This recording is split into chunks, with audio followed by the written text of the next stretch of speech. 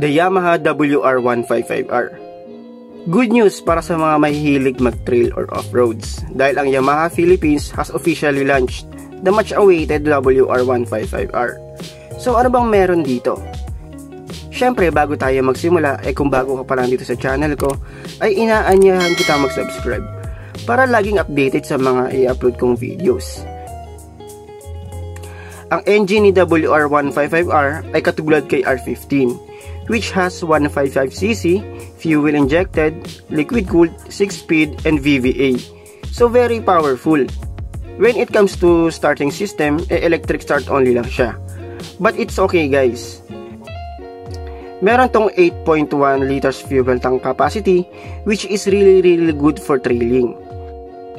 As for the suspensions, meron tong wide and long telescopic forks.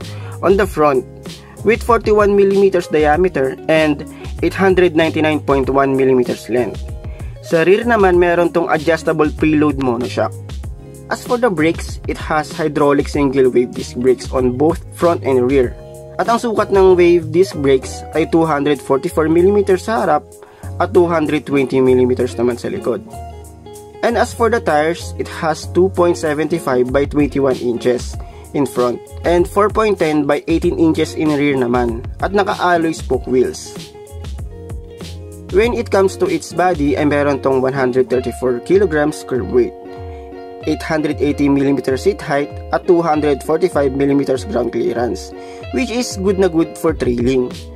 On the other features naman ay meron tong LCD multifunctional speedometer, semi-double cradle frame, stylish seat at equipped ng bug lightings.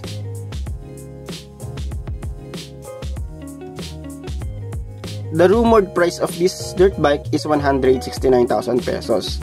So tingin nyo ba guys worth it siya? So ayun lang guys, ride safe.